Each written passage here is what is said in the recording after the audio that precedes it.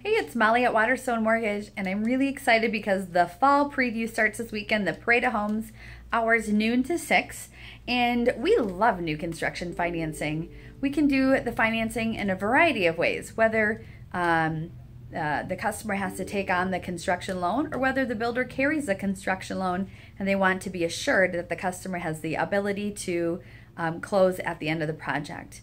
Uh, call us first and we'll make sure that that approval is complete, accurate, thorough, and reliable. Molly at Waterstone Mortgage.